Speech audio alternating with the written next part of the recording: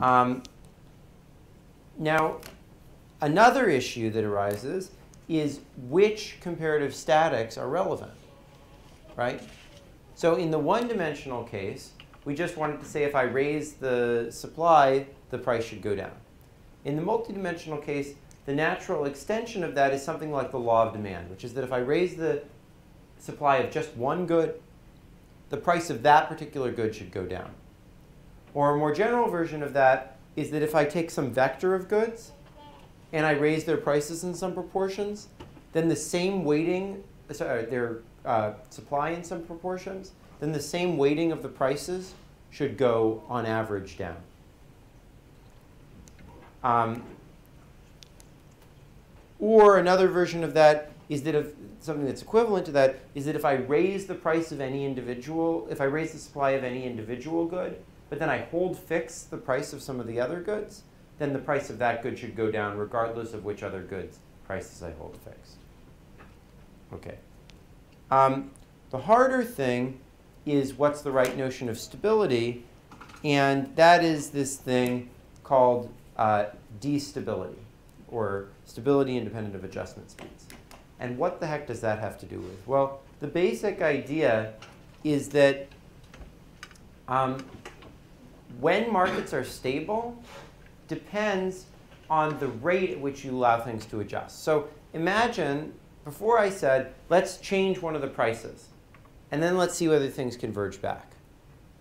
Well, in a general setting, right, where you have a lot of different markets and things aren't symmetric, whether things converge back might depend on whether this market is moving more quickly than the other market is. Because otherwise, things might overshoot in one market and get into some part of the space where then it diverges. And if you want things not to depend on those relative speeds, if you want things to converge regardless, that requires one condition. If you want it to converge in some case, then that requires another condition. That wouldn't be the case if the thing were symmetric, turns out. But in this more general setting, there is this divergence between converging in some cases and converging in all cases. Um, and d-stability is the condition that's required for it to converge in all cases. Yeah, James. So when we're thinking about stability here, we're yep. thinking about uh, it uh, converging back to the equilibrium after a shock, and d-stability being it oscillates around the equilibrium and never gets there, or is it it goes over to a different equal, a shock can send it over to a different system. That, that's a good question. So the idea is, imagine that we, we keep every fundamental in the economy the same, but we perturb the price in some, reason, for, in some way. D-stability says that regardless of the relative speeds at which the markets adjust, we always end up back at the equilibrium that we started at, as long as the price movement is sufficiently close to the equilibrium. So that's that's what d-stability means. Oh. So yes, I mean stability. would be that it, it never gets back to that. Uh, that particular that, equilibrium. That particular equilibrium, but it could end up at another equilibrium. Yeah. Okay. Exactly. Um. Okay.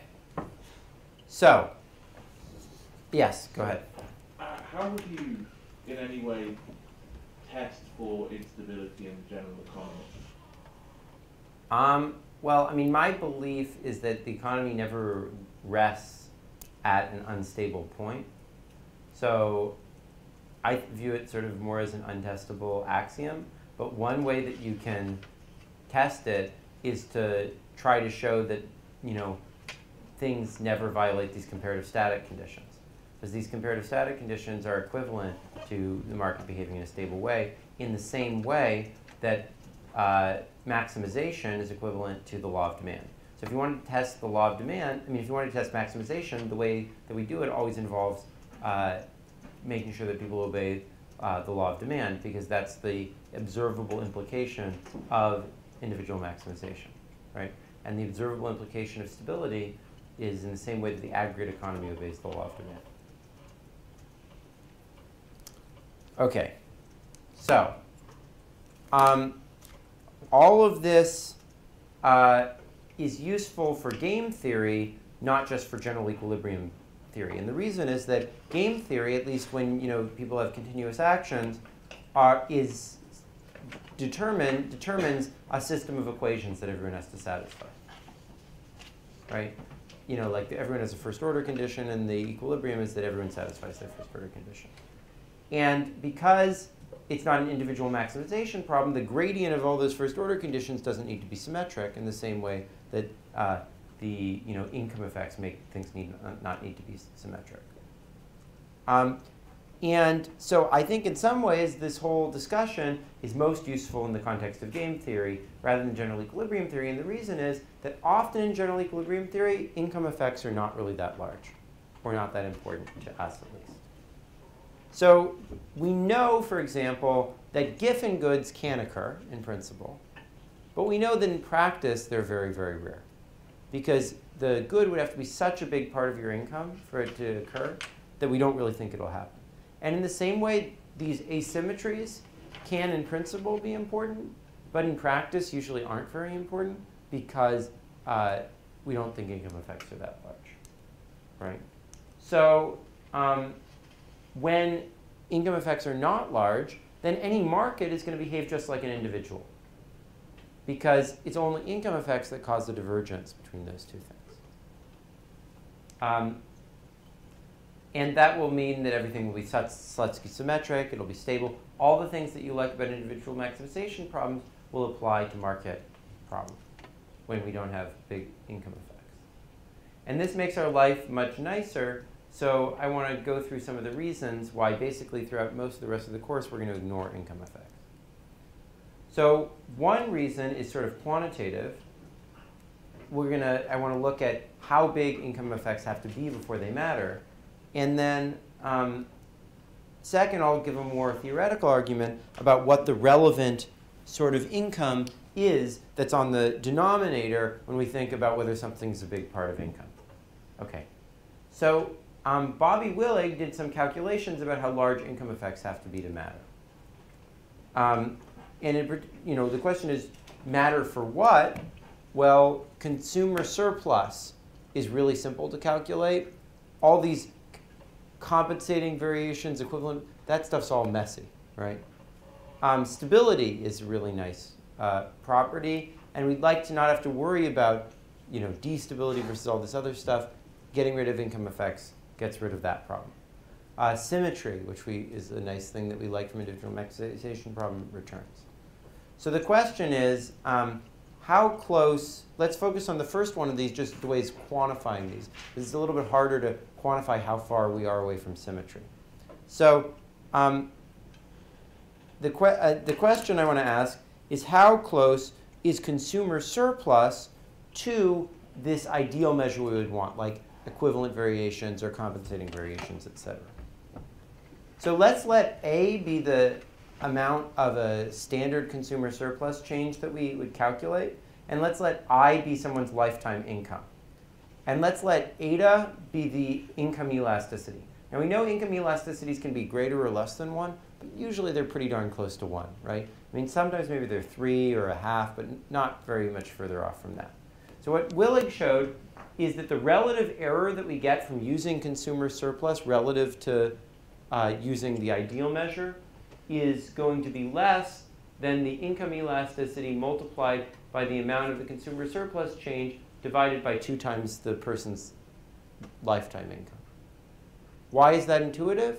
Well, any divergence comes from income effects. And the income elasticity says uh, this is how much the change is as a fraction of your income. Multiply that by an elasticity, and you're going to get basically the size of the income effects. Right? So this is a very simple formula. So imagine that um, the elasticity, as I was saying, is less than 3, right? Um, then uh, if this is no more than 1% of your lifetime income, then you always get an error of less than 1.5%. And 1% of someone's lifetime income is a big change for most people. So someone's lifetime income might be, uh, you know, a, a million, $10 million, something like that, 1% of that is like 10,000 or $100,000, right? So this, in most cases, is going to be very small compared with measurement error. Think about the measurement error you usually get. It's like 20, 30% in most estimates. The error you get from not considering all this complicated stuff about income effect is going to be almost certainly less than 1.5%. So usually it's not worth worrying about this stuff because it's just calibrationally tiny, right? Um, and this is very related to, I don't know if anyone's ever read this paper by Matthew Rabin about uh, risk aversion and expected utility, a calibration theorem. But what he says is that calibrationally, in any real world situation, even though risk aversion might exist overall, no one is going to be risk averse over any stakes that we usually talk about in standard small problems. Yeah, go ahead, Alex. Is this um, formula true regardless of the distribution of incomes? Yes, as long as it's true for every person. So you would have to add up over all the people what fraction of their income the consumers, but yes, if you aggregate in the correct way, it's true. Um, so to make clear how broadly this applies, let's consider some simple examples. So Bob Lucas, and I don't believe this, this is crazy. Bob Lucas claims that um, all business cycles in, in all of history uh, don't account for more than 0.0047 of, um, uh, you know, of GDP. So if that's the case, then if we left all income effects out of macro, that wouldn't lead to error of more than 1%. Uh, now, I'm not saying that he's right about that, but if he were right about that, or even if he was an order of magnitude off, we still wouldn't get much error by leaving all income effects out of macro. Um, Costinot et al. Uh, are going to say below that Ricardian uh, trade is not going to uh, generate income effects of, I'm sorry, welfare gains of more than 0.05%. So that means in all Ricardian models that we consider, if we neglect all income effects, that won't lead to an error of more than 8% in our analysis of the of welfare. Wait, is it 0.05% or 5%? No, 0.05. That's 5%, sorry. So it won't lead to more than 8%. Okay. And these are like super macro things, right? Like all Ricardian trade that occurs in the entire world, or all business cycles, right? So for almost anything we would standard thing we would talk about in real microeconomics, this is going to matter even less, right? And and you know one key reason is that I was dividing everything by people's lifetime incomes, right? Because that's the relevant income for an individual, right? So for a standard professor, this would be something like $5 million. Most things we consider are going to be small relative to this.